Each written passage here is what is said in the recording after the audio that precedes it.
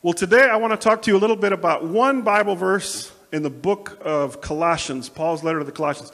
Hoy quisiera hablar con ustedes acerca de un versículo chiquito en la carta del apóstol Pablo a los colosenses. And you can find it in Colossians 3 and verse 15. Y se encuentra en Colosenses 3 y el versículo 15. In Colossians 3, Paul is talking in this chapter about putting on the Lord Jesus Christ and taking off the person you used to be. And he's talking about all the qualities of Jesus, the character of Jesus. En este capítulo, el apóstol Pablo está hablando con la iglesia en Colosenses.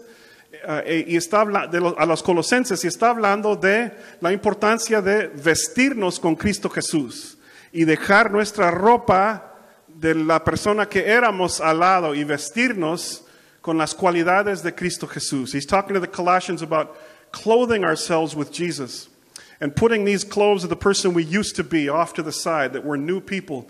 And then he comes to verse 15 and he says this He says, May the peace of Christ rule in your hearts. May the peace of Christ rule in your hearts. Y luego llegamos al versículo 15 de Colosenses 3 y dice el, el apóstol Pablo, que gobierne en sus corazones la paz de Cristo Jesús, por la cual fueron llamados. Que gobierne en sus corazones la paz de Cristo Jesús. Ahí la palabra gobierne es la palabra gobernar, ¿verdad? Y viene de una palabra en el griego que quiere decir árbitro, un juez en un campo de, de deportes. The word uh, rule comes from a Greek word that means referee. The people that used to referee those sporting contests at the time of the Apostle Paul, referee. En otras palabras, Pablo está diciendo que la paz de Cristo Jesús es nuestro árbitro. Es nuestro árbitro. O sea, tiene la última palabra. Es el que manda. So he's saying that the peace of Christ actually has the last word. The peace of Christ calls the shots. The peace of Christ is in charge. Bueno, muchas veces queremos saber quién manda, ¿verdad? Como en los matrimonios. ¿Quién manda? Dijo un esposo al llegar a la casa, dijo, yo soy el rey y tú no eres nada. Entonces la wife dijo, entonces tú eres el rey de nada. Cuando nos casamos, el pastor muchas veces dice que ya no somos dos, sino una sola carne, somos uno. Y la pregunta eterna es, pero ¿cuál de los dos? ¿Quién manda? When you talk about who's going to rule, who calls the shots, sometimes we talk about marriage, you know, which of the two is going to call the shots. One husband came home and said, Baby, I'm the king and you're nothing. And she said, That makes you the king of nothing. The pastor sometimes in weddings, he says, Now you are no longer two, but one. And the question is, which one? Right? Who calls the shots? Alguien llegó a la oficina del pastor y habló con su secretaria y dijo, quiero hablar con el mero marano. Y la secretaria dijo, ¿cómo? ¿Qué, qué es eso? Pues nosotros no hablamos, hablamos con respeto a nuestro pastor. ¿Quién eres tú para hablar así? Y dijo, quiero hablar con el mero marano. Y ella dijo, Señor, yo no, no, no, no te voy a decir dos veces, nosotros hablamos con respeto de nuestro pastor. Y él dijo, pues qué lástima que yo tengo un cheque de 20 mil dólares para la iglesia. Ella dijo, espérate, espérate, yo voy al puerquito andando por el pasillo. Ay, qué bárbaro.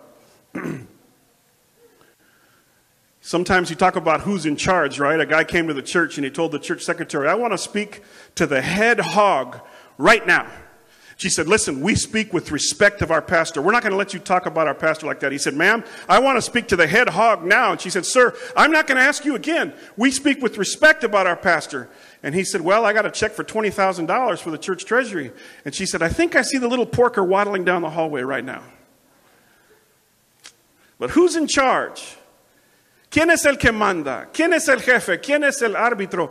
Aquí en Colosenses 3:15 eh, la palabra de Dios dice que la paz de Cristo es el árbitro. La paz de Cristo manda. La paz de Cristo decide. Who's in charge? Who's the boss?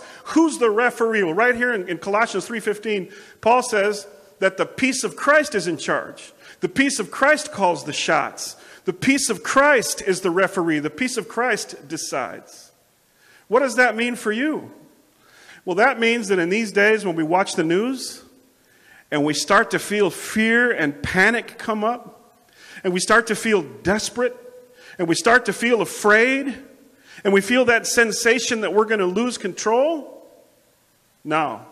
The peace of Christ calls the shots. The peace of Christ is in charge. The peace of Christ says, No, no, no. I have the peace of Jesus Christ ruling in my heart, and I will not fear because Jesus Christ has given me his peace. ¿Qué es lo que queremos decir con esto?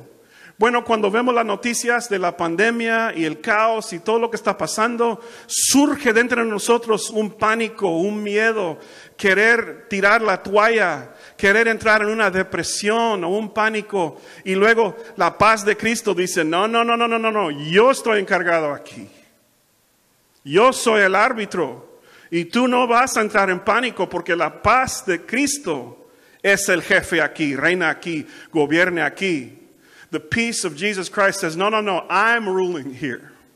Your heart is not going to be overwhelmed. You are not going to panic because the peace of Jesus Christ rules and reigns. La paz de Cristo Jesús es la que reina y gobierne en mi corazón. It's so easy when we watch what's going on, and every day we have another opportunity to be afraid. We have another opportunity to fall into depression. Some people, when they're scared, they get mad. They get mad at their wife, they get mad at the kids, they get mad at the family. They walk around angry because they're afraid. Some other people just want to go to bed and just keep sleeping.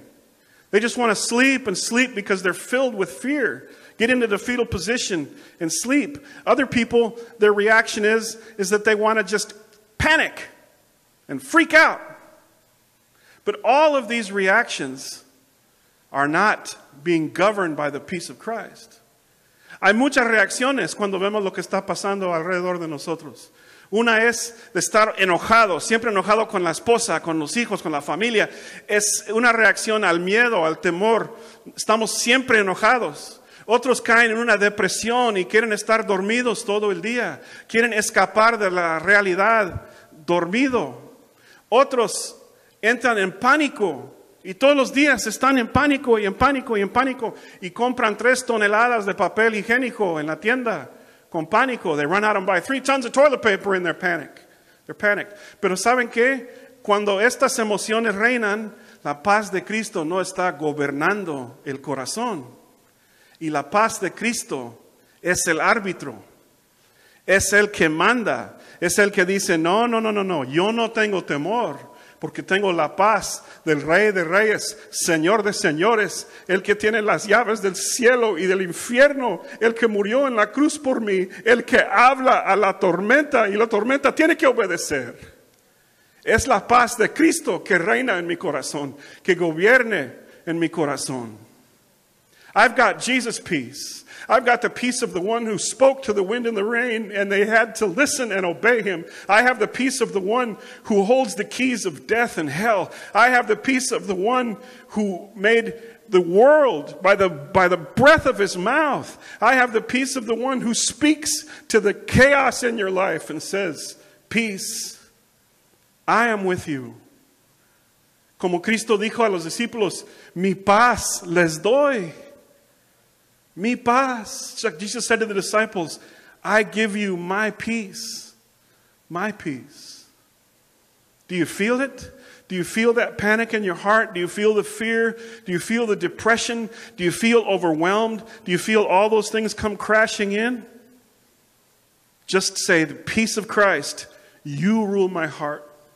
You rule my heart. I won't let any of these other emotions take over. ¿Sientes el pánico entrar en tu corazón? ¿Sientes el temor? ¿Te sientes abrumado con la vida? Hay que decir, no, no, no, no, no. La paz de Cristo reina en mi corazón. La paz de Cristo gobierne en mi corazón. La paz de Cristo es el que tiene la última palabra. The peace of Jesus Christ calls the shots in my heart. The peace of Jesus Christ gets the last word. I am not going to give in to these emotions that are going to destroy me. I am going to hold on to the peace of Jesus Christ. Si tú no conoces a Cristo, si tú dices, Jim, yo no tengo paz en mi corazón, no tengo paz. Mira, solo tienes que clamar a Cristo ahorita mismo y decir, Cristo, dame tu paz. Yo sé que moriste en la cruz por mí. Yo necesito tu paz, Señor. Tú sabes bien que soy pecador. Sálvame y límpiame y dame tu paz. Ya no quiero vivir con miedo. If you've never experienced the peace of Jesus, if you're not saved, call on Jesus right now and say, Jesus, you know I'm a sinner. My life is chaos. I believe you died and rose for me. Please I repent of my sins. Take away my sins. Give me your peace. I want to be a new person. And in one moment, Jesus can save you. En un momento en el tiempo, Cristo te puede salvar. Si clamas a Él con sinceridad de corazón, if you call on Him in sincerity of heart, Jesus will save you today, right now. Si tú ya eres cristiano, como los colosenses, y tú dices, Jim, si te hablo directo y sincero, la paz de Cristo no está reinando en mi corazón, ni en mi familia, ni en mi hogar. Clama a Cristo. Dile, Señor, quiero sentir tu paz en mi corazón. Quiero que la paz de Cristo gobierne en mi corazón. If you're a Christian, just like the Colossians, and you don't feel peace in your heart, and you say, Jim, my house doesn't feel peaceful, my heart isn't peaceful. I feel overwhelmed. You are a candidate also to pray to Jesus and tell him, Jesus, fill my heart with peace. Fill my house with your peace. I want your peace to rule in my heart. I want your peace to call the shots. Déjame orar por ti en estos momentos. Señor, yo te pido por todos en estos días, Señor, que están con miedo y temor, perturbados en sus corazones, Señor que están cayendo en depresión, entrando en pánico. En el nombre de Cristo Jesús, Señor, mandamos la paz de Cristo Jesús a todos ellos. A todos que me están viendo en este momento, Señor, llena tus casas con tu paz. Llena tus, sus corazones con tu paz, Cristo Jesús. Lord, I pray for everybody that's listening to me, that's watching me, that feels fear rising up in their heart, that feels a depression rising up in their heart, that feels a sense of being overwhelmed and swept away by the storm. I pray in Jesus' name that you would, right now, as I pray, fill their hearts with peace. Fill their houses with peace, that they would know the peace of Jesus Christ that passes all understanding, that the peace of Christ would rule in their hearts, que la paz de Cristo Jesús gobierne en sus corazones ahora mismo. We don't have anybody like you, Jesus. Speak to our storm today, Jesus, and calm the storm. No tenemos nadie como tú, Señor. Habla a nuestra tormenta en esta mañana, Señor. Queremos paz. In Jesus' awesome name, amen.